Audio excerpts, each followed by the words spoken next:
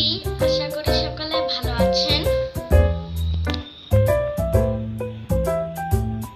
আজকে আমার আম্মু মজাদার লাড্ডু বানাবে।